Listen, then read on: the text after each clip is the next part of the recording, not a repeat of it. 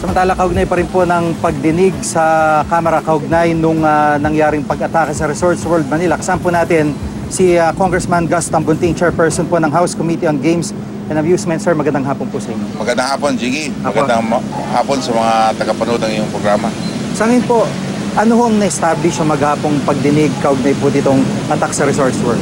Well, very obvious na yung ah, mas lalong nakita yung ah, breakdown in ah, communication na talagang ah, yan ang naging uh, sanhi, punutulo ng problemang to.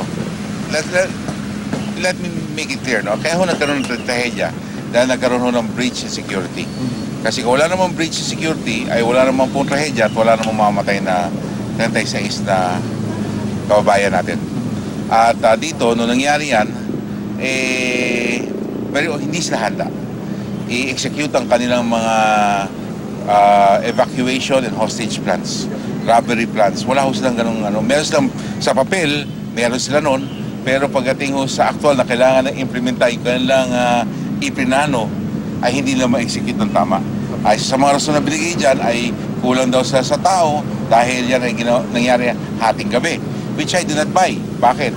Tandaan nyo, 24 oras ang operations ng isang casino. Therefore, dapat handa ka 24 oras. Hindi pagkatapos alas 12, eh, hindi ka na handa. At ako sino na lang doon, ayun na lang ang iyong hahagilapin. Nakita mo naman, yung mami sila, nagkaroon ng barilan at nagkaroon ng barilan ang dalawang ah, friendly forces, ang security ng Resorts World at ang police. Dahil hindi raw, ah, dahil kulang nga talaga sa komunikasyon at saka wala akong timon. Mhm. Okay, nagkulang ho. At saka yun nga po, ano, nakita rin ulit na emphasize ng PNP na hindi na real time yung impormasyon na nabibigay sa kanila. Oo, sinabi nila yon at uh, ini-estimate na lang nila. No? Maybe depende kung kaninong uh, relo ka nakatingin. Apo. Yun nung, yung David Chua na, na nakaalis na po ng bansa, pa, pa, paano pong plano niyo po dito? Well, uh, definitely, kaya tayo magkakaroon ng isa pang hearing, yan ang isa sa mga rason.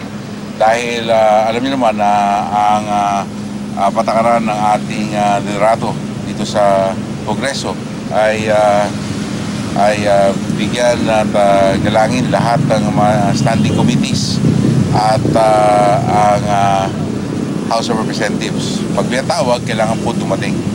At um, yan ay talagang ah, importante po sa amin na siya ay ah, humarap sa committee. At marami pa ho tayong mga kasama na, kasi ho, bakasyon tayo ngayon.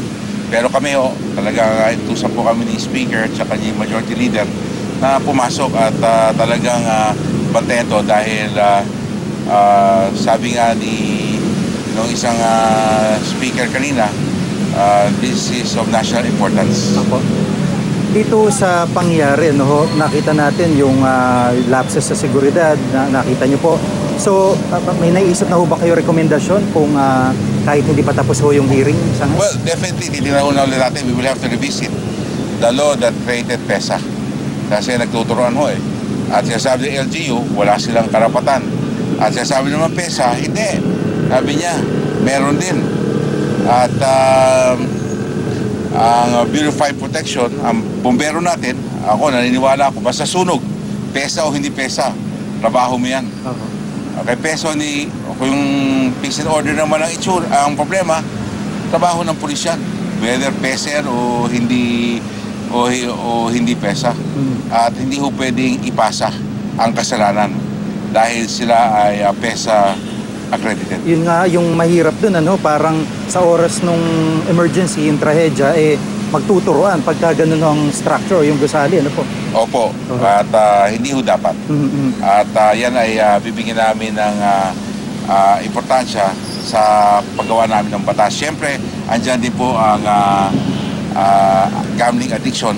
We will have to also take a look at the intervention made by PAGCOR, yung exclusion, player exclusion na Kung gaano yes, fit yung po policy. Mhm. Tingnan natin paano ho kinakaskade yan. Paano ba binababa ang impormasyon at gaano ka-effective yan. Of course, counseling kasi gambling addiction should also be uh, considered. No? This is uh, sakit ho yan eh. At kailangan ho natin tingnan mabuti ano ang uh, dapat gawin para ho hindi na ho masyadong malulong ang ating mga kababayan sa sugal. Of course, meron din ng mga nagmumukahe pag-aralan din yung mga pautang. Okay? Ito ba uh, dumadagdag Mga sa... nagfi-finance dun sa- Yes, Okay. dumadagdag ba yan sa sakit nila. Mhm. So yan ay pag-aaralan po natin. Bilang panghuli po, ano po ang ini-expect o expect po ng publiko doon sa susunod pong hearing ng Well, ah, hindi ko po alam kung ano sa isip ng mga ibang mga membro na hindi pa nagtatanong kasi hindi pa sila maka-attend ng ah, dalawang hearing. So may mga bagong mga membro na mag-attend po ng susunod na hearing. Definitely, we will have to see what the chairman of the board of Resource World will have to say. At titingnan mo natin, ano ba talaga ang maitutulong nila sa ating mga kababayan? Ah, ano ba talaga ang gagawin nila at anong balak pa nilang gawin? And ah, at the end of the day, uh, we will try to come up with uh, recommendations, okay, and uh, the proper legislation para hindi na po maulit ito dahil ito ay hindi yung maganda para sa ating bansa. At matatakot po ang ating mga investors, matatakot po ang ating uh, mga kababayan uh, pag ganito ang nangyayari. You can imagine, hindi pa ho terrorist attack to, isang tao lang, 26 na. What kung talagang totoo, 20 sila. Okay?